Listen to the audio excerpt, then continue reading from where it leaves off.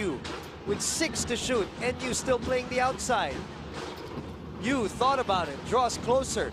Matt Aquino for the rainbow. Three.